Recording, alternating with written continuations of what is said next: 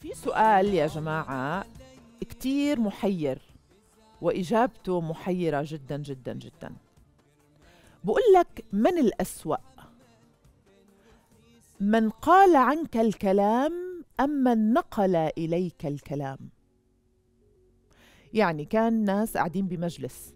شخص تفوه عنك بأفظع الكلام وقال عنك ما ليس فيك وشتمك. وفضح أسرارك. كان في شخص قاعد موجود. سمع. يمكن ما دافع عنك. ويمكن دافع. ولكن شو اللي بيخلي ناقل شو اللي بيخلي من قال عنك هذا الكلام أن يشعر بالأريحية أن يقوله أمام هذا الشخص؟ هاي نقطة. لأنه عارف بأنه انت نواياك مش كتير صادقة أمام الشخص اللي هو عم بتكلم عليه. راح! ناقل الكلام إجا لعندك وقال لك فلان حكى عنك واحد اثنين ثلاثة أربعة. من الأسوأ بنظركم؟ من قال أم من نقل؟ في وجهة نظر بتقول بأنه الذي نقل الكلام إذا وصل لك بدون أي تغيير أو تزييف أو تحريف فهو قلبه عليك. وهو بده يفتح عيونك على الثعابين اللي موجودين بحياتك وبدسوا السم وانت مش شايفهم. وفي نظرية أخرى بتقول اللي نقل لي الكلام خلاني أكره هذا الشخص وأنا لا أريد أن أكره. خلاني أحقد على هذا الشخص وأنا لا أريد أن أحقد. بنظركم من الأسوأ شوفوا في مثل بيقول ما شتمك إلا من بلغك. يعني اللي بلغك الشتيمة هو الذي شتمك. بالفعل. القائل شخص خاف يبلغك فتحدث عنك من وراك. ومن نقل الكلام هو شخص خاف يدافع عنك فأحب أن يخلي مسؤوليته. يعني في ناس بيكونوا قاعدين في قاعدة بنحكى عنك فهو ما بيقدر يدافع. عشان يخلي مسؤوليته بيروح بنقول لك الكلام اللي انقال. أنا بنظري الاثنين شاهدهم من بعيد وأدر بظهرك عنهم وانشغل بنفسك فقط. في وجهة نظر تاني بتقول الذي يتحدث في ظهري سيء والذي ينقل إلي كلاما أيضا سيء. الأول يصوب على قلبي بسهم فيصيبني والثاني يحمل السهم فيغرسه في قلبي بعد فشل تصويب الأول. مرام بعتت لي بتقول لي إذا كان المتحدث في ظهرك لئيم فإن ناقل الكلام لك وعدم دفاعه عنك مع أنه يعلم بأنه الكلام لما يوصلك سيحزنك هو أكثر لؤما. وجهة نظر. في وحدة بتقول لي ناقل الكلام إليك هو الأخطر من قائل الكلام نفسه. ليش؟ قائل الكلام مجرد جبان يخرس فقط في حضورك وذلك يعطيك هيبة وأفضلية بين المجموعة. أما ناقل الكلام هو يشعرك بالأمان وبحسسك إنه هو مقرب منك فأنت بترتاح له فبتصير تبادله أسرارك. بمسك هاي الأسرار وبنشرها مع بعض الإضافات بكل وقاحة لتشويه سمعتك فهو أخطر من النوع الأول. في وجهة نظر من ست اسمها نجلة. شوفوا شو بتقول. بتقول ناقل الكلام بالطبع هو أسوأ من قائله. ناقل الكلام أكثر خبثا ولؤما. لقد أعلن عليك الحرب دون أن يحرك ساكنا أو يشعل فيها عود ثقاب دخلها ببراءة الذئب. أما من قال عني في ظهري قد ألتمس له الكثير من الأعذار منها أنه قالها سهوا أو نسيا أو غيظا ومنها أنني قد أكون بالفعل قد أغثته وقد أحزنته فتكلم ليفك عن نفسه. فضلا عن كونه أجبن من أن يعلنها في وجهي أو ربما خاف أن تتسع هوة الشقاق بيننا. فالرفق بهذا أولى مرة يا جماعة الخير صار معي موقف كثير غريب. حكت معي وحدة يعني لا تعتبر صاحبتي كصديقة مقربة جدا واحدة من المعارف ولكن هي يعني بنت محترمة ولطيفة وبلتقي معها أنا بالمناسبات وكذا. حكت معي بتقول لي ندوش. أنا بدي أحكي لك شغلة يمكن رح تتفاجئي منها بس أنا بدي ابري ضميري وذمتي قلت لها تفضلي إيش في؟ قالت لي أنا امبارح استغبتك. طبعا أنا zero ردة فعل.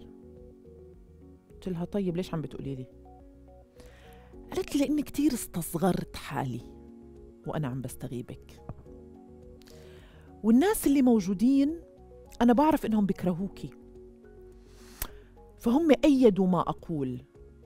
على الرغم من إنه أنا في أشياء قلتها هي مش موجودة فيكي حتى اللي قلته عنك أنا ترجمته بطريقة خاطئة.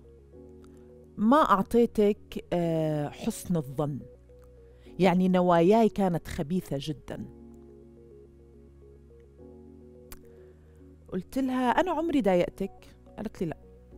قلت لها عمري أجيت فيكي قالت لي لا. قلت لها لما أشوفك كيف بستقبلك؟ قالت لي للأمانة برحابة صدر وبابتسامة عريضة. قلت لها ليش استغبتيني؟ قالت لي لأني بغار من نجاحك. بغار إنه أنت عندك ولد أنا الله ما رزقني ولاد تخيلوا. بغار بغار بغار إنه الناس بتحبك. بتصدقوا إني احترمتها. وبتصدقوا إنه هلأ أنا وياها علاقتنا وطيدة جدا جدا جدا. أنا على التليفون قلت لها أنا سامحتك وأنا أحترم فيكي جرأتك. وإنتي أدركتي بإنك أسأتي وحكيتي واعتذرتي من أنا حتى لا أعفو؟ فأنا عفوت عنك. من وقتها يا جماعة؟ هاي البنت غيرت كتير بنظرتي لأمور عديدة بالحياة. صار لما ينجاب سيرة حدا قدامي وأنا لا أدعي المثالية. عادي مرات بنكون قاعدين إحنا البنات بنكون قاعدين بنجاب سيرة بنت سيري انت بدك تعرفي من باب الفضولية والحشرية إنه بالله شو علاش كذا. صرت أنا أكثر حرصا على اختلاق الأعذار للناس. صرت أكثر حرصا إنه النوايا تجاه الآخرين تكون صادقة. فهي اللي حكت معي علمتني درس لن أنساه أبدا. شوفوا الشر كتير سهل. الخير بالزمن اللي إحنا عايشين فيه أصبح عملة نادرة. دائما خلي قلبك مليان بالمحبة لأنه المشهد لا يحتمل أي كراهية. وخطاب الكراهية إذا إحنا عشنا عليه وتعلموا عليه أولادنا سندخل في نفق مظلم لا خروج منه. السلام الذي ننادي به بالعالم إذا ما كان له مكان داخل نفوسنا فهو لا قيمة له. شوفوا في ناس في شخص ذاك اليوم كتب على فيسبوك قال ألا ليت نوايا الناس ترى. حتى نعرف كل واحد كيف يفكر تجاهنا ونعامله على هذا الأساس. أحكي لكم سر عني. أنا ورهف. شوفوا أنا شخص لا أتعلق تعلقا مفرطا. شو يعني؟ يعني أنا ما عندي مثلا بست فريند بس أسافر أبعت لها. عندي كتير صحبات وعن جد بحبهم من قلبي. وأتمنى أنه تكون نواياهم صادقة وبعرف يعني من خلال التعامل وسنين العشرة. بس أنا ما بتعلق. ليش؟ لأنه أنا إذا أت... يعني إذا تعلقت أنا عم بسمح للشخص اللي أمامي أنه يأذيني. لأنه كل ما قربت المسافة هو بقدر يأذيك. فأنا دائما بخلي مسافة الأمان. ما بتقدر تعملها مع أهلك مع إخوانك مع أولادك هاي جيفن بس أنا بعملها مع ال ال ال ال الأشخاص اللي هم خارج حدود منزلي أو خارج حيطان بيتي. رهف اللي صار بأنه أنا وياها بلشت علاقتنا كعلاقة مهنية. كنا يعني نحكي مع بعض بما يتعلق بالشغل. فجأة تحولت هذه العلاقة إلى علاقة صداقة حقيقية وعلاقة شخصية. الجانب الإيجابي بأنه أنا لقيت بنت قلبها صافي وصادق وأبيض. بقدر بكل ما للكلمة من معنى أتجرد أمامها من كل مخاوفي. آه، حتى في بعض الأحيان أتجرد أمامها من كرامتي يعني بحط الإيجو على جنب وبحكي لها أنا كيف فكرت وكيف تصرفت وكذا. وهي لا آه، آه، ما بتحكم علي لا تصدر أحكاما.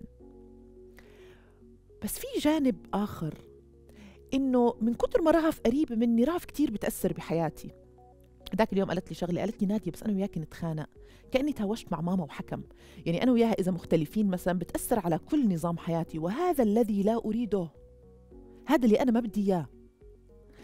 مبسوطة لأنه هي my soulmate لأنه آه، مقدر آه، لنا أن نلتقي ونصنع نجاح مع بعض ونكون صديقات مقربات جدا و ونساعد بعض في كتير من نواحي الحياة ولكن بنفس الوقت ما كنت أخشاه حصل مع رهف. هذاك اليوم قلت لها شغلة قلت لها شوفي أنا الحالة الصداقة اللي بيني وبينك عمري بحياتي ما رح أرجع أكررها.